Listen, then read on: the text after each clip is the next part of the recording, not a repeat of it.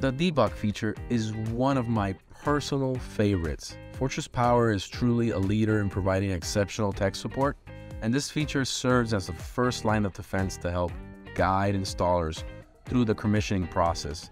If a user encounters any issues with the inverter, the installer can simply select a question that describes the problem, and the inverter will respond with a relevant debug message. For instance, suppose the user asks, why isn't the battery discharging? In that case, the inverter will generate a possible explanation such as, there is enough solar power available to power all the EPS loads without discharging the battery. This capability is possible because the inverter can power your loads using only solar energy without the need for the grid or the battery.